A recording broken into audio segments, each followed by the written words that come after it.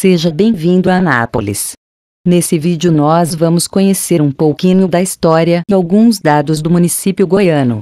Você está no canal Cidades do Meu Brasil. Para saber mais informações e notícias sobre Anápolis e todas as cidades brasileiras visite nosso portal. Vamos lá?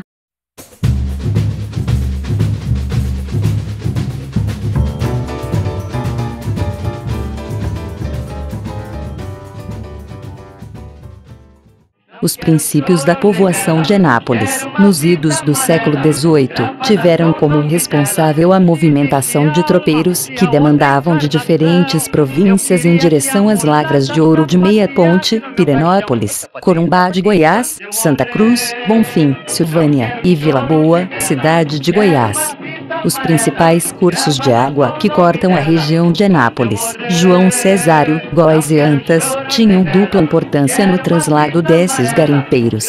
Eram sítios de descanso e serviam como referência e orientação na viagem abandonando os sonhos de aventura e de riqueza em face da exaustão do precioso metal nas lavras antes promissoras, muitos daqueles viajantes optaram pelas margens do Antas para estabelecer moradia, constituir família e explorar a terra.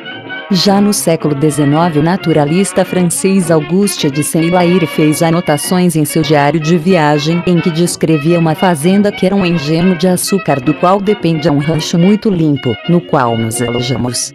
Era o ano de 1819 e o lugar descrito pelo estudioso francês, a Fazenda das Antas.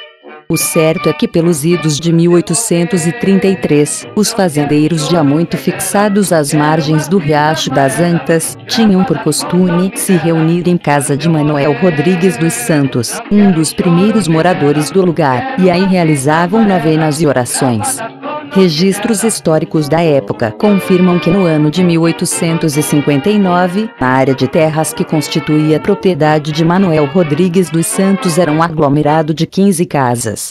A 25 de abril de 1870 surge o primeiro documento oficial sobre Anápolis um grupo de moradores, constituído por Pedro Ruiz dos Santos, Inácio José de Souza, Camilo Mendes de Moraes, Manuel Ruiz dos Santos e Joaquim Rodrigues dos Santos fez a doação de parte de suas terras para a formação do que se denominou de Patrimônio de Nossa Senhora de Santana.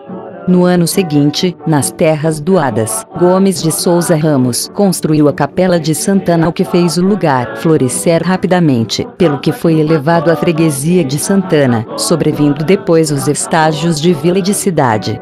Obrigado pela sua companhia, é um prazer ter você aqui com a gente. Deixe seu like, comentário e se inscreva em nosso canal. Até mais!